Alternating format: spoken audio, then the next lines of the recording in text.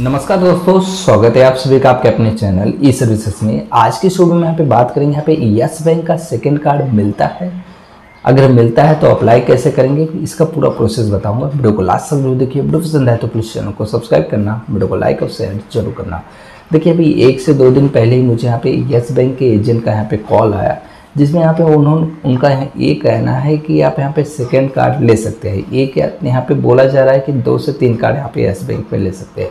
तो वैसे तो मेरे हिसाब से ऐसा नहीं है। मेरे हिसाब से यहाँ पे एक ही कार्ड ले सकते हैं। लेकिन फिर भी उन्होंने बोला कि नहीं, ऐसा होता है, दो कार्ड ले सकते हैं, तीन कार्ड यहाँ पे मैक्सिमम ले सकते हैं। तो ऐसा नहीं है। फिर भी उन्होंने बोला कि आप यहाँ पे अप्लाई करके देखिए, मैं यहाँ पे लिंक देता हूँ अप्लाई करिए। अप्लाई करके देखिए, होता है कि नहीं होता है। तो मैंने बोला, ठीक है भाई अप्लाई करके देख लेते हैं। तो मैंने भी यहाँ पे उनके लिंक से यहाँ पे लिंक भेजते हैं। वो आपको यहाँ पे पूरा ऑनलाइन ही प्रोसेस करना रहता है। तो लिंक आया तो लिंक आके यहाँ पे अप्लाई करने का प्रोसेस मैं आपको बता देता हूँ। ये प्रोसेस आप यहाँ पे फ्रेश अप्लीकेशन में भी कर सकते हैं और अगर आपके पास यहाँ पे कार्ड है तो भी यहाँ पे ट्राई कर सकते हैं, ठीक है? तो चलिए मैं आपको यहाँ पे बता दूँ कैसे यहाँ पे वो यस बैंक का क्रेडिट कार्ड अप्लाई कर सकते हैं। तो अप्लाई करने के लिए लिंक आपको डिस्क्रिप्शन में मिल जाएगा। वहाँ पे जैसे ही क्लिक करेंगे क्लिक करते यहाँ पे यस बैंक के यहाँ पे ऑफिशियल वेबसाइट पे आ जाएँगे। यहाँ पे आने के बाद आपको यहाँ पे लोकेशन अलाउ कर देना है, क्योंकि आगे यहाँ पे प्रोसेस होता है लोकेशन यहाँ पे पूछता ही है, ठीक है? तो लोकेशन अलाउ कर देना अगर नहीं करना तो भी कोई दिक्कत नहीं है। लोकेशन अलाउ करने के बाद आपको यहाँ पे देखिए बोला जाएगा कि enter a PAN number and mobile number PAN number और मोबाइल नंबर एंटर करने के बाद यहाँ पे टर्म एंड कंडीशन को यहाँ पे एक्सेप्ट करना है, फिर सेव एंड कंटिन्यू पे क्लिक कर देना है। दोनों ही प्रोसेस है। हम यहाँ पे चेक कर रहे हैं सेकेंड कार्ड अप्रूवल होता है कि नहीं होता है, ठीक है?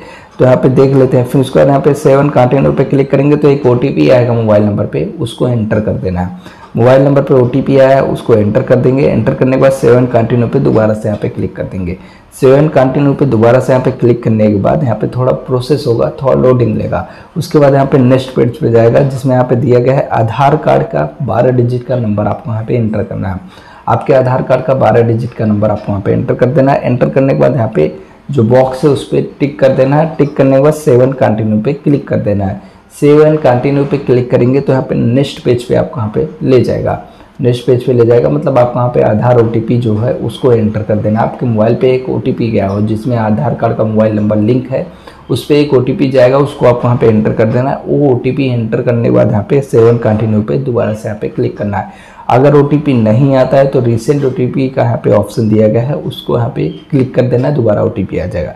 तो हमने ओटीपी एंटर कर दिया सेवन कंटिन्यू पे दोबारा से यहाँ पे क्लिक करेंगे।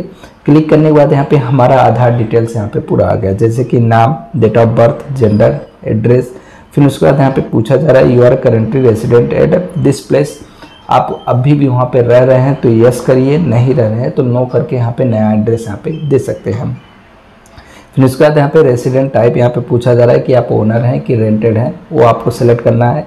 अगर ओनर है या रेंटेड है, जो भी है तो उसमें यहाँ पे वहाँ उस एड्रेस पे कितने सालों से रह रहे हैं, वो आपको यहाँ पे एंटर कर देना फिर सेवन कंटिन्यू पे क्लिक कर देना। पूरा डिटेल आप यहाँ पे देख लीजिए, फिर उसके बाद यहाँ पे सेवन कंटिन्यू पे क्लिक कर दीजिए। उसके बाद यहाँ पे पूछा जाएगा सैलराइड है कि सेल्फ एम्प्लॉय है? वो आपको यहाँ पे सेलेक्ट करना है, अगर सैलराइड है या सेल्फ एम्प्लॉय है तो आपके ऑफ़िस का यहाँ पे नाम जो है जो भी है वो एंटर कर देना है, फिर उसके बाद यहाँ पे आपके ऑफ़िस का यहाँ पे एड्रेस यहाँ पे एंटर करना है, फिर उसके बाद आपको पूछा जाएगा लास्ट में कि आपको वहाँ पे कार्ड कहाँ चाहिए। ऑफ़िस एड्रेस पे चाहिए कि होम एड्रेस पे चाहिए? तो आपको वो सेलेक्ट कर लेना है। तो इतना आपको प्रोसेस करना है। इतना प्रोसेस करने के बाद हम आगे प्रोसेस करेंगे। तो हमने यहाँ पे पूरा फिलअप कर दिया है प्रोसेस उसके बाद यहाँ पे सेव एंड कंटिन्यू पे क्लिक कर देना है। सेव एंड कंटिन्यू पे क्लिक करने के बाद यहाँ पे अगर आप कार्ड टू कार्ड अप्लाई कर रहे हैं तो यहाँ पे क्रेडिट कार्ड यहाँ पे जो है वो वाला ऑप्शन आपको सेलेक्ट करना है और सैलरी स्लिप के साथ यहाँ पे करेंगे तो पे स्लिप के साथ यहाँ पे क्लिक कर देना है आईटीआर का यहाँ पे ऑप्शन तो सेल्फ एम्प्लॉय वालों के लिए है वैसे भी आईटीआर का ऑप्शन दिया है तो वो भी आप यहाँ पे अपलोड कर सकते हैं लेकिन हम यहाँ पे कार्ड टू कार्ड यहाँ पे सेलेक्ट कर रहे हैं तो वो भी नहीं हो रहा है यहाँ पे इंटरनल रिक्वायरमेंट यहाँ पे जो पॉलिसी है उसके यहाँ पे बता रहा है सेकेंड हम यहाँ पे देख लेते हैं एक बार जो दोबारा यहाँ पे आईटीआर का बेस यहाँ पे देख लेते हैं वो भी हम यहाँ पे एंटर करके देख लेते हैं, होता है कि नहीं होता है। क्योंकि यहाँ पे हमें एजेंट ने बोला कि होगा ही कंफर्म होगा। यहाँ पे सेकेंड कार्ड नहीं, तीन कार्ड यहाँ पे एस बैंक की तरफ़ से दिया जाता है। लेकिन मेरे हिसाब से ऐसा नहीं है, मैंने यहाँ पे ट्राई किया था। तो बहुत लोगों का यहाँ पे यही मैं कस्टमर केयर से भी बात किया था तो उन्होंने ये बोला कि एक ही कार्ड मिलता है। लेकिन ये बात यहाँ पे करीब पाँच छः महीना हो गई, मैंने जब बात किया था। लेकिन अब यहाँ पे वो जो उनके एजेंट है कॉल किए थे तो बोलते हैं कि होता है। यस बैंक से आया था। तो मैंने सोचा, चलो देख लेते हैं ट्राई कर लेते हैं। तो यहाँ पे इतना प्रोसेस किया, लेकिन यही आ रहा है इंटरनल पॉलिसी जो है इनके उससे यहाँ पे मैच नहीं कर रहा है डज नॉट मीट तो ये देखिए, ये दोबारा से भी यहाँ पे मैंने किया, यहाँ पे आईटीआर वगैरह, किसी से भी यहाँ पे ऑप्शन नहीं दे रहा है। तो अगर आप यहाँ पे चाहे तो अप्लाई करके देख सकते हैं, अगर आपको भी यही प्रोसेस दिख रहा है, यही ऑप्शन दिख रहा है तो कमेंट बॉक्स में कमेंट करके बताना। और यहाँ पे सेकेंड कार्ड अगर मिल रहा है तो बहुत ही अच्छी बात है, वो भी ज़रूर बताना। मेरे हिसाब से शायद से नहीं है, अभी भी यहाँ पे ऐसा कुछ नहीं है।